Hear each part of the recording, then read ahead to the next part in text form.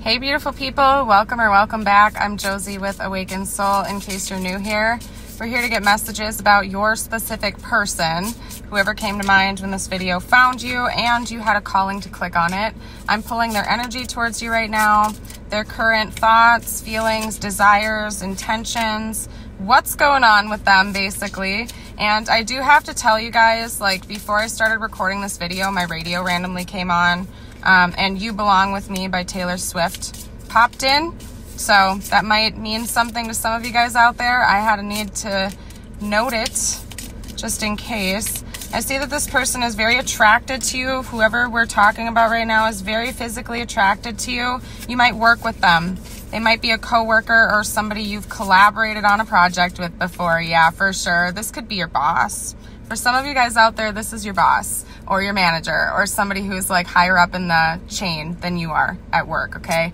We have the Three of Pentacles, the Empress, um, the King of Swords, the Eight of Pentacles, the Emperor, and um, Temperance. Yeah, so we have Sagittarius, Taurus, um, Aries and Aquarius coming out. And if you don't see your zodiac sign, that's fine. This could also be theirs um, or in your big three. So, anyway, you guys, yeah, you probably work with this person. I get the sense that um, they are probably your boss or your manager, somebody who's higher up than you, or a coworker you've at least collaborated on some type of project with in the past. Um, they're very physically attracted to you. So, that is their primary energy towards you at this time, is being physically attracted to you. I don't see them wanting to take action action in the immediate future. Maybe they will. I want to get out some cards to see what's going on with them, what they would say to you if they felt like they could. That might bring some more insight, okay?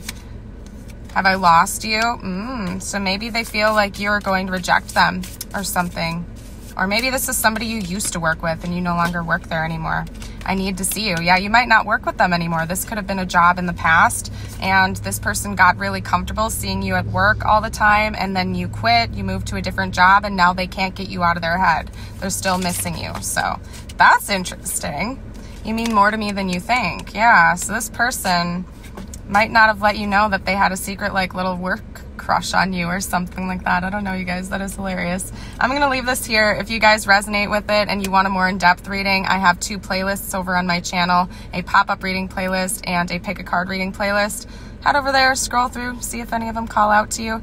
And if you are a long term subscriber, you've been here for a minute, I have new Awakened Soul merch.